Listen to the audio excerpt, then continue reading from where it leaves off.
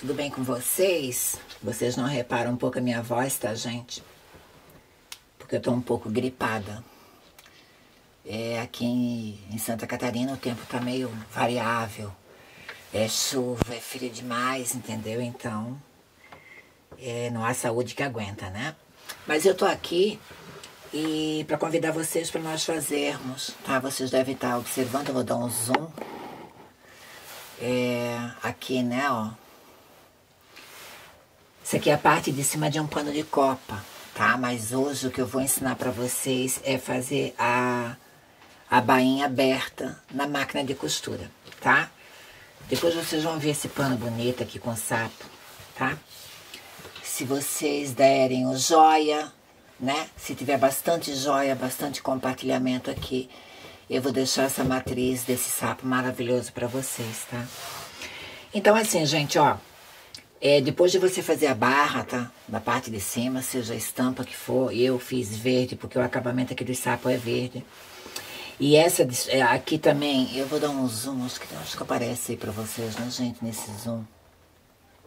É, depois de eu ter costurado a minha a barra, né, de, da, do, do avesso para o direito, eu fiz o ponto de pet appliqué, tá? Pra lá e pra cá. E aqui, você tem que pegar o seu abridor é, de casa, abridor de casinha de botão, é, e rasgar bem aqui rente a bainha, tá? Eu já falo pra vocês que pano que é esse aqui, tipo assim, gente, olha aqui, ó, ó. Vocês vão rasgar e de lá pra cá também ali, ó. Vocês vão entender isso aqui já já. Porque assim, ó. Essa parte aqui vai ter que ser desfiada, tá? Então eu vou desfiar um pedacinho com vocês e depois eu já volto com esse desfiado. Bom, meus amores, esse pano aqui tá com as bainhas na lateral que eu já fiz. Ele é copa limpa, tá? Ele é o especial é, especial. Deixa eu botar aqui, ó. Especial liso. Especial liso, tamanho 70 por 1 metro, 100% algodão. Ele é um saco de é, alvejado, tá? Só que ele é especial liso. Aqui embaixo, na descrição desse vídeo, vai ter os contatos para você entrar é, em contato com a empresa da qual a gente tem parceria para vocês adquirirem, tá, gente? Eu super recomendo. Todas as pessoas que compraram não se arrependeram porque a qualidade é excepcional, tá? Então aqui, ó, eu vou deixar é, num zoom um pouquinho maior mesmo. E depois é, que você cortou aqui, ó, o que você vai ter que fazer? Com a própria pontinha, você vai... É, a princípio fazer assim, ó. Até puxar um fiozinho pra fora aqui, ó. É, se você acha que é grande demais, tá, gente, que vai ter que puxar muito, aqui no centro, ó, você também pode dar um rasguinho, tá? Assim, ó. Ó. E aí, o que que acontece?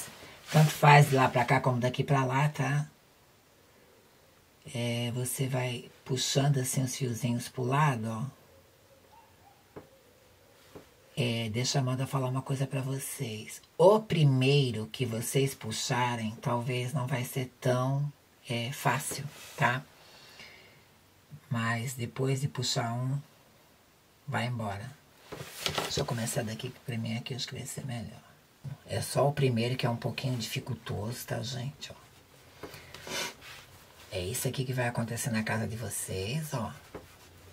Mas como aqui eu cortei, que que... Ó, Entenderam? Então, o primeiro é um pouquinho difícil. Como daí você já vai conseguir puxar por aqui, ó. Olha aqui o segundo, ó.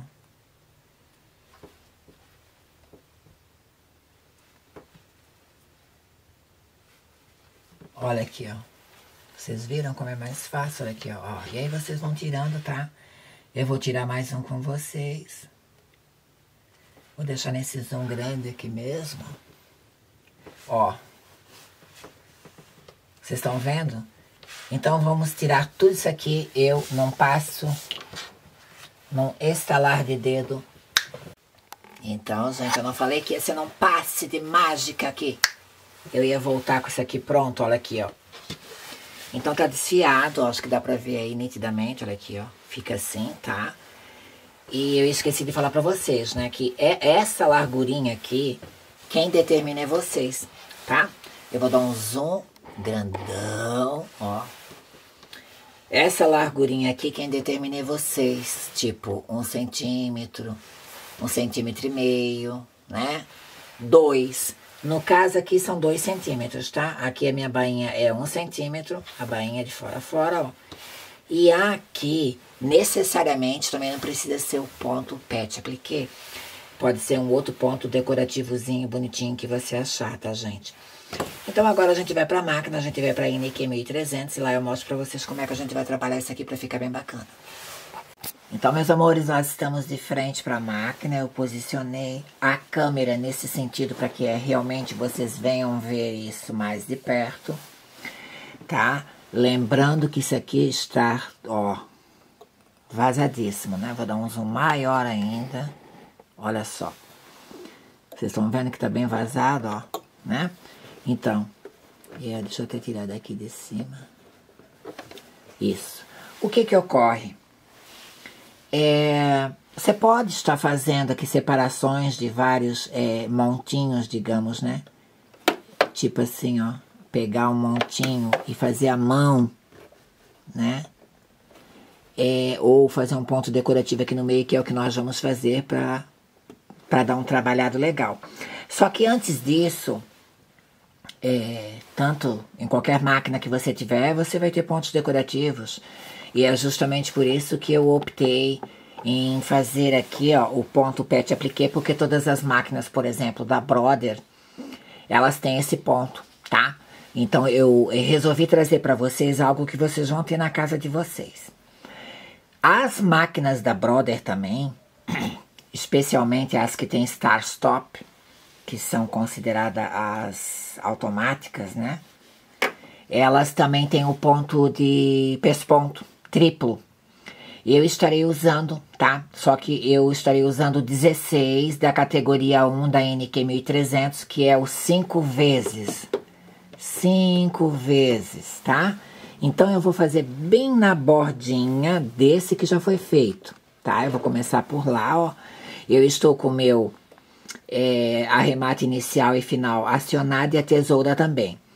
Aí vocês vão me perguntar qual é a agulha 7511, tá? E a linha que eu estou usando é verde embaixo também. Poderia ter sido branco? Poderia. Só que vocês estão vendo aqui que eu quero que combine com sapo. E essa linha é uma linha de algodão normal, tá bom? Então vamos lá? Ó, vou fazer um pouquinho para vocês, ó. É bem rente no que já está ali.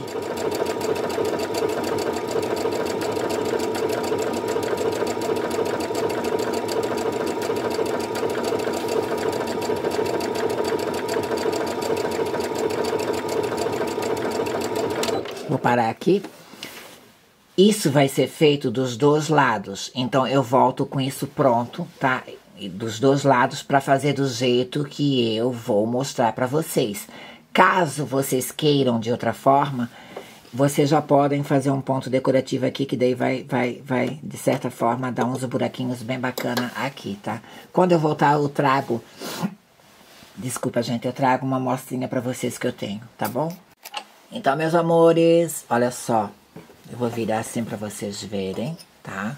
Ó, aqui ficou a, no, a nova linha, né, feita do press-ponte aqui também tá? Não faz mal se fica um pouquinho assim, porque isso é, é normal quando o assunto é bainha aberta, ainda mais feito em máquina caseira.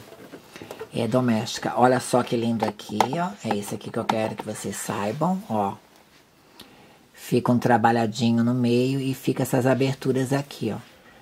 Tá? Então, quer dizer, é uma forma diferente, é um trabalho diferenciado, que as pessoas estão acostumadas a fazer aquela mesmice de sempre. Ah, eu vou fazer um pano de copa normal. Ai, muita elaboração. É muita elaboração, eu não vou querer. E aí é onde que as pessoas estão assim, enjoando de coisa comum. As pessoas querem coisa bonita, gente, tá? Então, eu escolhi o ponto é, 19, é o ponto colmeia, tá? Eu não vou virar a câmera agora para mostrar para vocês, porque eu acho que nem daria. Deixa eu ver aqui. Se der, tudo bem, mas acho que não vai dar. Dá, né? Make de lateral, mas dá. É o 19, tá? Da seção 1, o ponto colmeia. Ai, Amanda, não tem esse ponto na minha máquina. Aí você vai ter que fazer uma, as amostrinhas, né? Como eu sempre digo em todos os meus vídeos, que você tem que fazer uma amostrinha, já mostro pra vocês a minha amostrinha que eu tenho ali de outros pontos, tá, ó. Aí você vem vindo, gente, ó, dá uma seguradinha assim pra deixar bem bonitinho, esticadinho, os, ah, ah, os tecidinhos, digamos, essas linhas eu quero dizer, né, mais retinhas, que daí quando a máquina vem trabalhando com o, o ponto decorativo que você escolheu, que pode ser estrela também, Ó, vocês vê que não engasga, não dá problema nenhum, tá? Eu vou costurar isso até o fim. Mostro pra vocês como ficou e mostro pra vocês as amostrinhas que eu tenho ali. Que inclusive eu fiz há poucos minutos atrás, gente. Não foi nada muito elaborado.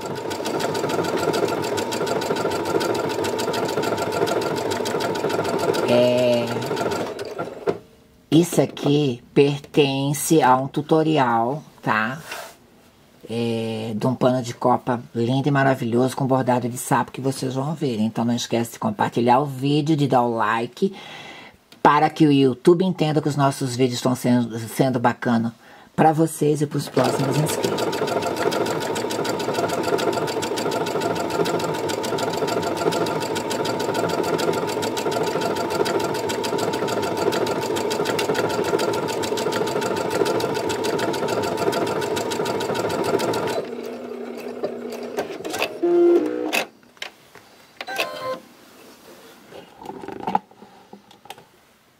Olha, eu vou deixar nesse zoom para vocês verem, gente. Olha aqui, ó. Tá, e agora eu vou mostrar assim para vocês, num zoom.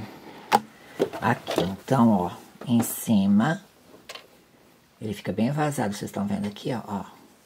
Essa é a parte de cima do pano de copa, tá? Eu vou abaixar meu colocador e vou deixar aqui para vocês ficarem dando uma olhadinha, né? Aqui. É...